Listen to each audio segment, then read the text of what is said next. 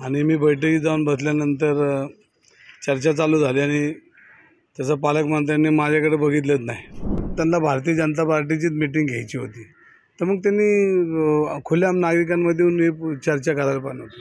आम्ही सहा जण निमंत्रित होतो सहा जणांना त्यांनी बोलवलं होतं. मग अशा मिटिंगला जर अशी लोक येत असतील तर मग आम्ही आमदार म्हणून का त्या ठिकाणी बसायचं? आम्ही मग निघून आलो. अक्षय अ, आता जे सत्ताधारी आमदार आहेत त्यांना खरं तर निमंत्रित करण्यात आलेलं होतं. तुम्ही बैठकीसाठी गेलेले होतात मात्र तुम्ही बैठकीतून बाहेर पडलात अशी माहिती मिळते. काय नेमकं बैठकीमध्ये झालेलं हो, होतं? बघा आज पालकमंत्र्यांनी पुणे शहरातील विविध विषयावर बैठक बोलवली होती.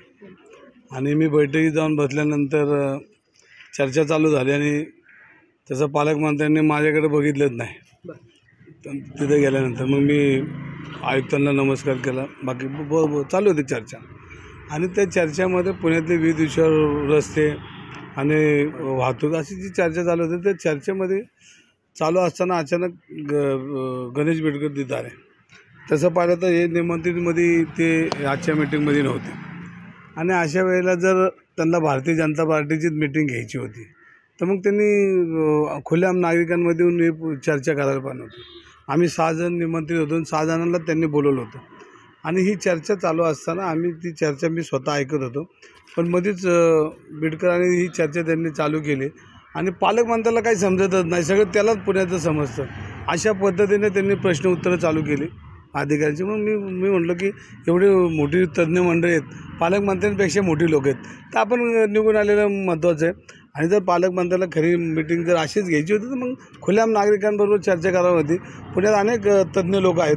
पेडकरांपेक्षा मोठे तज्ज्ञ आहेत. त्यांचाही सल्ला घेतला असता. कोण येते बिडकर को काय माहिती आता ते नगरसेवक नाही आहेत कुठं पा कुठल्या पदावर नाही आहेत काय नाहीत मग अशा मिटिंगला जर अशी लोक येत असतील तर मग आम्ही आमदार म्हणून का त्या ठिकाणी बसायचं? आम्ही मग निघून आलो. आक्षेप काय होता तुमचा? नाही नाही विषय तो तो बोलतो म्हणून नाही. की एक सहा लोक बोलवली होती. आणि सहा लोकांनी पुणे महानगरपालिकेचे अधिकारी अशी ती बैठक होती. आणि आमदारांची बैठक बोलली होती. तर त्यांनी दुसरी कोणाची बैठक बोलवली नव्हती.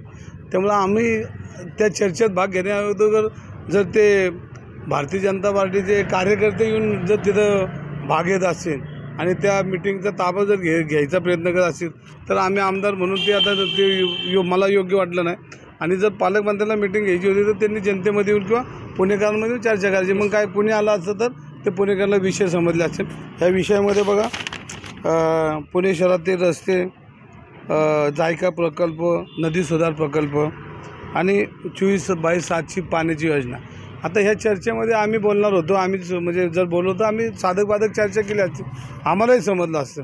पण अशा पद्धतीने जर कुणी येऊन त्या मिटिंगमध्ये बसत असेल आणि त्यांनी अधिकाऱ्यांवर जर मला काही तरी वेगळं येतं किंवा वेगळं समजतं असं जर वाटत असेल तर मग आम्ही निघून आलो. पण तुम्ही निघून आला तुम्हाला चंद्रकांत पाटलांनी थांबवायचा प्रयत्न नाही केला का? ते बघतच नव्हते माझ्याकडं. मी आलो का नाही त्यांना माहिती बी नव्हतं. काय माहिती त्यांना कळलं का? काय माहिती आहे तसंच दिसतं असं मला बी वाटतं आता. काय ते कळलंच नाही मला.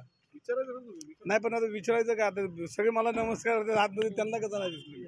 असं होतं. मी काय थोडीच विचारणार का? मी आलो आलो आला तर मला बघा. असं तर नाही नव्हतं चला, धन्यवाद.